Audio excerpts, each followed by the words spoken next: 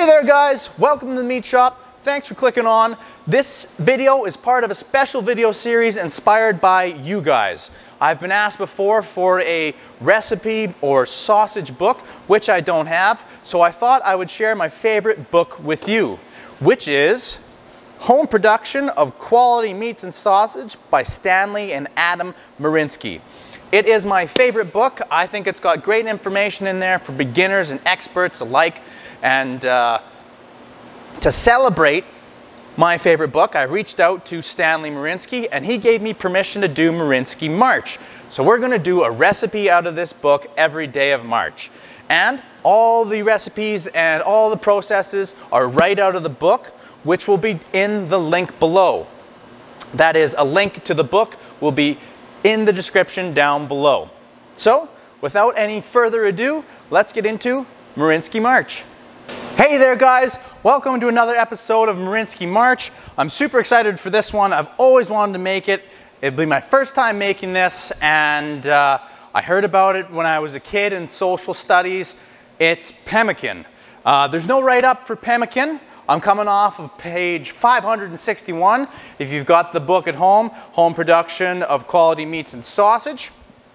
Pemmican, it doesn't have any write-up, but if this is correct, which it might not be, uh, what I learned back in social studies is it was a Native American or an indigenous food. They would take the uh, offal fat off an animal and beat it uh, along with maybe some dried meat uh, off the carcass, and they would work berries into it, and it would be like a shelf-stable commodity for them uh, back on the in the plains and before Europeans ever made it over. So I've, I've heard about it, I've never had it, I'm real excited that it's in the book here and we're gonna make it together. Um, so guys, like I said, the recipe's on page 561 and what we're basically gonna do is we're gonna take some dried meat, blend it with some dried berries, and then pour some beef fat or beef suet that we've rendered down onto the mixture and then dry it out. And it'll be shelf stable, ready to go kind of meat protein, fat, fruity bars. Um, the process is all in here. I'm going to follow it along. So if you've got the book at home, you know we need some jerky or some dried meat and we'll need some dried berries. So I'm going to have to make all that ahead of time. I got myself here some dried berries, a little bit of uh, blackberry, cherry, bluebarb, or bluebarb, blueberry. And uh, I'm going to make the jerky. I got some nice uh, quarter inch thick cut hip meat here. So I'm gonna do it right from scratch. So I'm gonna get all this stuff dehydrating. For the jerky, I'm not using the recipe out of here. I think that maybe um, real traditional stuff probably had no seasoning on it. It was probably just dried. But I'm gonna put just a little bit of salt and cure on my jerky and dry it out in the dehydrator as well. So I'll bring you guys in. Uh, we'll load these up and uh, get you a picture of that. All right, guys, we'll get them berries going first. I'll confess, I've never dehydrated anything before in my life. So I'm assuming you'd probably want to use fresh berries, but all I could get my hands on here before the video started was some frozen berries. I'm not sure how well they're going to dehydrate, so I'm going to get them in there first. So I think all we're going to do is I'm just going to spray each one of these sheets with Pam and get it loaded up with berries. To give it a good heavy coat. Nothing's worse than stuff sticking. Okay guys, they're all lubed up and I'm assuming I'm just gonna spread them out as evenly as possible so that uh, the air can circulate between them. I feel like it's kind of just like doing jerky. Berries and jerky are the same thing. I've also never used this dehydrator before, so we'll see how this whole process goes. It's fun, I never get to play around like this. Anyways, I'll get the rest of these loaded up and I'll show you what they look like in the dehydrator. All right, guys, so I got that uh, dehydrator fired up. Very cool dehydrator. I got it off Amazon, and uh, if it works well, I'll pop it in the link below. But just going off the description up top here, guys, the dehydrator says to do fruits at, at uh, 57 to 63 degrees Celsius, 135 to 145 Fahrenheit. So it's preheated. We'll pop them in there. And see how she goes. All right. I might do one more trade just in case. I don't know how much they shrink up. But anyways, guys, we'll come back in, I think I got it set for four hours. I have no idea how long it takes. We'll come check on it in four hours. So our berries for the pemmicans prepped. Uh, they took quite a while. It was about 14 hours to get these guys to dehydrate down, but they really, really shrunk down when they did. But they're nice and dry now and firm. So we'll add these to our fat and meat mix. Should I try one? Yeah, they're nice and dense. So we'll add this to our fat meat mix for the pemmican. All right, guys, so we got the berries going back there. Now it's time for the dry meat. Uh, in the book, it does call for beef jerky, which I do have an episode of that in Marianski March somewheres. Maybe I'll link it right here, or maybe it'll be here. But I'm just gonna do just salt and cure on this, rub it in real good, re-vacuum pack it. Uh, you should probably leave it for 12 to 24 hours, and then I'm gonna dehydrate it just like I did the berries and follow that recipe. So, like I said earlier, lean hip meat, cut a quarter inch thick, like so. Bada bing, bada boom. Salt and cure, sprinkle a bit on there. Mix it in. The salt finds the cuts in your fingers quick if you're not wearing gloves. Awesome. That's all there is to that, guys. I'm gonna vac pack it, let it sit in the fridge for at least 12 hours, and then dehydrate it. Then we'll carry on with the pemmican. All right, guys. So the pemmican meat is ready. It's been marinating. We're getting closer to the final product, getting more excited. So now I'm just gonna rack this stuff on my little dehydrator sheets and have, they can have their turn in the dehydrator. But I'm just gonna spray them all down with Pam. Give them a nice heavy shot because I know, well, I don't know, I've never dehydrated jerky before. I've always just run it in the smokehouse. But I know it can really get sticking to them sheets in the smokehouse, so don't cheap out with the Pam. Pam vegetable spray? Maybe Pam is a Canadian brand. I don't know. Canola Harvest. Open up our pemmican meat. And I'm gonna do it the same way I do it in my smokehouse. I'll spread them out or lay them out here. I'm gonna leave just a little bit of space so that none of them are physically touching one another to allow that uh, air to circulate between them. That means you get a nice even dry because if they're touching one another, that surface between the two is never gonna see that warm air. It's never gonna dry out. I'll get these rack guys. You don't gotta watch me do that. And then uh, we will show you them getting loaded into the dehydrator. So I got them racked up like that just so they're not touching. And uh, now we'll pop them into the dehydrator. Okay, so I got the little dehydrator pre-warmed up it says in the book to dehydrate, not for a certain period of time, but we're shooting for a, when you pull it out of the dehydrator and you bend it, it breaks, kind of cracks away, but it, it doesn't snap. It's not too dry where it just breaks in half. So we're gonna smoke it at 60 to 60, er, smoke it, dehydrate it at 60 to 65 degrees Celsius until we hit that temperature. So I don't know how long we'll be doing this for, guys, but I'm gonna pop the pemmican on top. And shortly after this, I'm gonna load in, actually I'm gonna start this at the bottom. I'm gonna load in Stan and Adam Rinsky's roast, uh, roast beef, beef jerky. So we'll come check on them. I don't know. Let's say, I'm guessing four hours at a minimum. We'll come back in four hours. Alrighty there guys, so the dry meat for the pemmican is now done. Um, it was in there for 10 hours and we do the test here. Bends and breaks, but it doesn't snap. You can see that little bit there. That's the test. That's nice looking jerky. So we'll uh, take this, chop it up fine, and add it to our fat and berry mixture. We got to make that fat up yet though, so that's what's next. Okay guys, so the next step at pemmican is we got to melt this suet fat down. Uh, this is the suet fat, aka the kidney fat. Uh, so it's off the, it surrounds the organs, uh, the kidneys in particular, inside the cavity of the beef.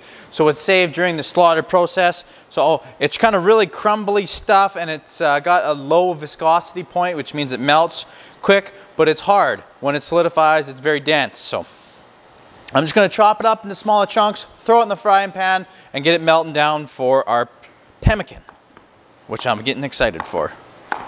Okay guys, so I got the suet chopped down into a bunch of small chunks. I have one kilogram of suet total uh, because the recipe calls for 500 grams if you're following along, but I'm doing a double batch, some with the Marianski jerky, some with some salt and pepper, uh, dehydrated beef. Actually, there's no pepper, it's just salt. So I'm gonna pop in the frying pan and get it going.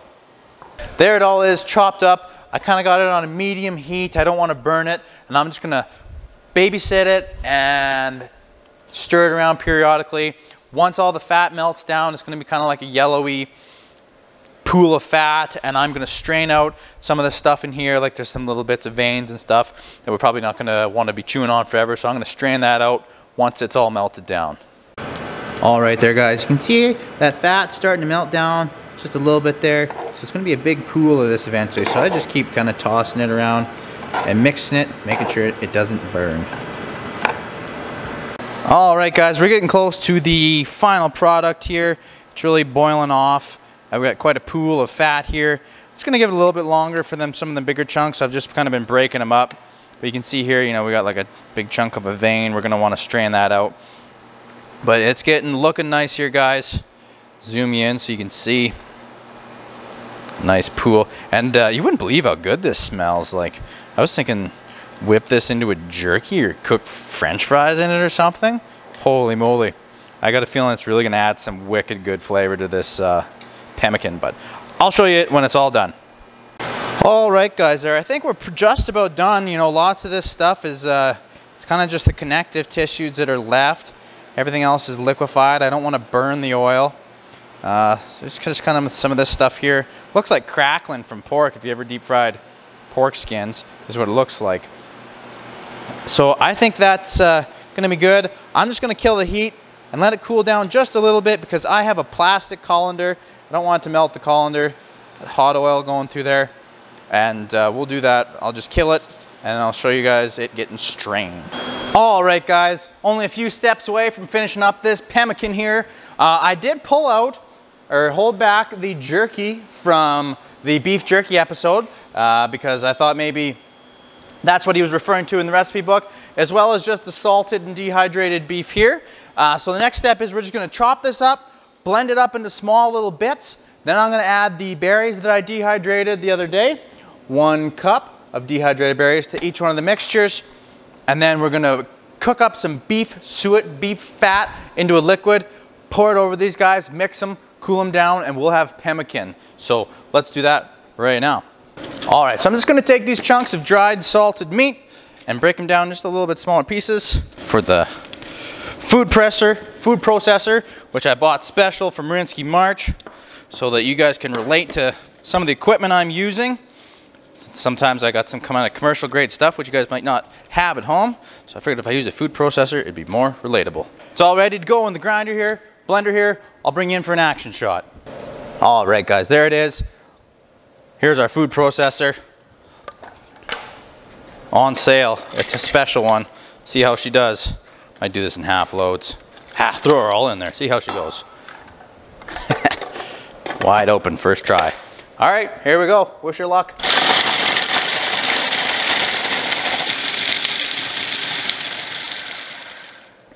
Now it says we're shooting for a dust, kind of like a fine powder. So I got some chunks in here, a little bit big yet let's uh, let's keep keep chopping.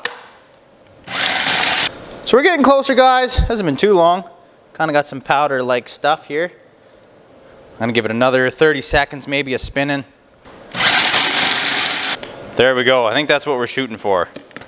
So now I'm gonna blend up that other batch of jerky from the Marianski jerky recipe.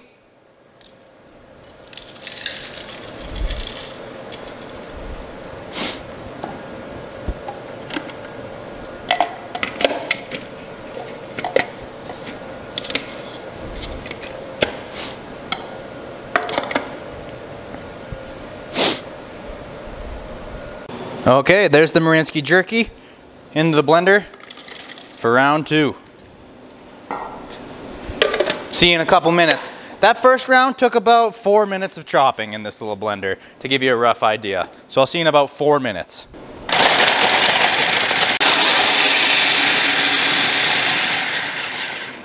All right, guys, a couple minutes gone by. This one powdered up a little bit quicker. There you go, quite a bit finer powder on this one, so I'll see, we'll see the texture difference when that comes around. Now our next step here, guys, is we're gonna need a cup of, berry, cup of berries blended for each batch.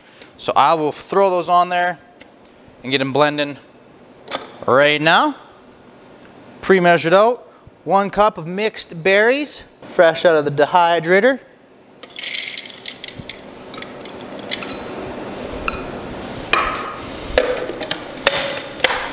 Give it a quick spin.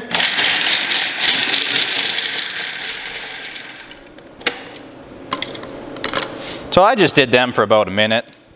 They're still in kind of pretty big chunks, but broke them down a little bit, I guess, for flavor. I'm assuming this step in the recipe is to kind of simulate uh, the traditional, I think the indigenous or native people used to really pound all this stuff together in a kind of mortar pestle or something like that into a paste.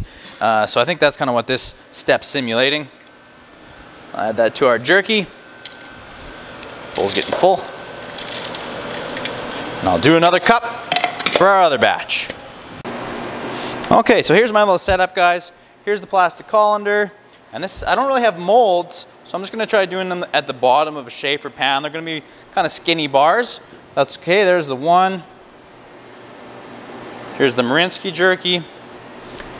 Get her back into position and I'll bring it over and we'll strain her out.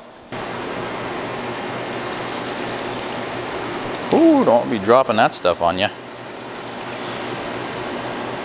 Now, uh, in the book, I think it says you can cool it down and then reheat it if you need, but I'm gonna shoot to do it all in one step here.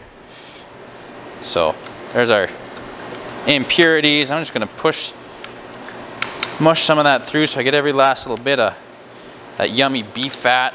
Those are just kind of little bits of connective tissues between the fats. Still dripping pretty good, so. This is kind of fun. I don't usually do stuff like this. This is out of the normal for me. I'm enjoying this. All right, that looks like it's about it. The effort isn't worth the rewards at this point. That's when we're done. There's that guy. Let's pour it over.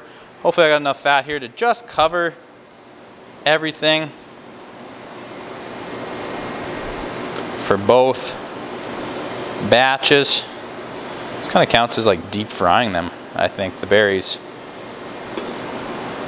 and meat. See how that does. See if I got enough for both here.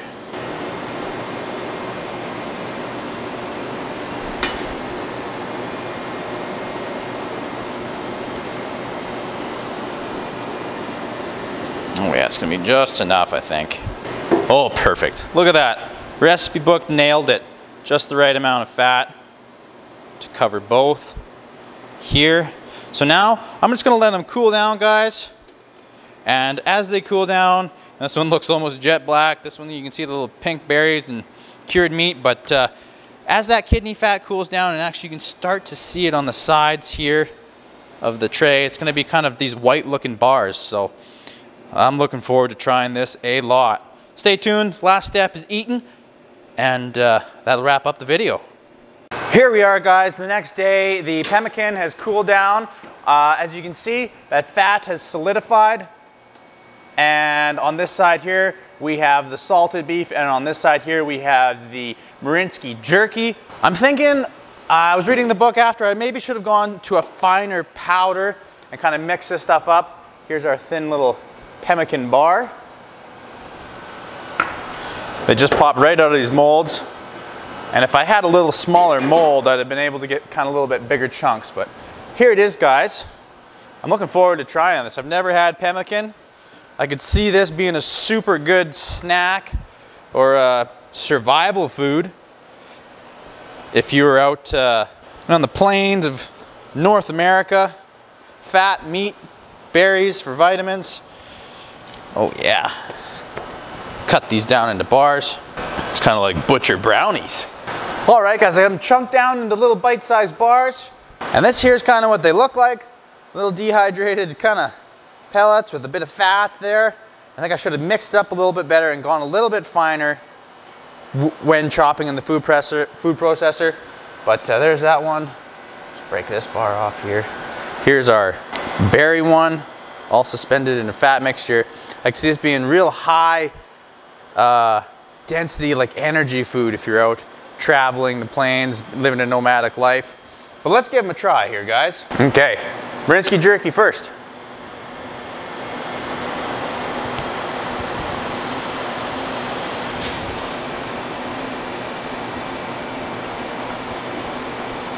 Hmm. That's really cool. That's actually really neat. I've never had anything like it. I don't know how, how to describe it to you guys. It's like you got the little bit of beef jerky chunks in there, and you bite it into kind of a dry, dense, intense sweet berry. And lots of beef flavor from that kidney fat. You wouldn't need very many of these and it would keep you going all day long. Really cool. I do think if I was to do this again, I would use a little bit less fat. I, I kind of drowned it, or not drowned them, but I covered the whole jerky mixture with fat. I think I maybe would just poured a little bit in and mixed it in to hold it. There's a fair bit of fat, leaves a little bit of coating in my mouth. Um, but other than that, the flavor's good. The jerky in there is good. The berries in there is good. The fat in there, it's got that real nice beef flavor. So there is the Marianski jerky. Let's give the salted beef one a try. Ah, really neat guys. Same again, the berries are way more flavorful in this one because there's no flavors coming out of the beef jerky. Also quite good. If you're hiking out in the mountains, throw a couple of these in your backpack for lunch. Wouldn't take up much space. And uh, it would get you a whole whack load of energy. So guys, this is the pemmican episode from Marianski March. If you enjoyed it, give it a thumbs up and subscribe and we'll be doing more recipes out of home production of quality meats and sausage throughout the month. So stay tuned for that.